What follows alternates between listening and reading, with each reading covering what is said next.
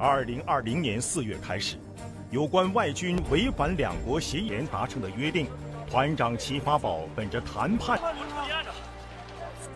在前出交涉和激烈斗争中，团长齐发宝身先士卒，身负重伤。营长陈红军、战士陈祥荣突入重围营救，奋力反击，英勇牺牲。战士肖思远突围后义无反顾返回营救战友，战斗至生命最后一刻。战士王卓然在渡河前出支援途中，拼力救助被冲散的战友脱险，自己却淹没在冰河之中。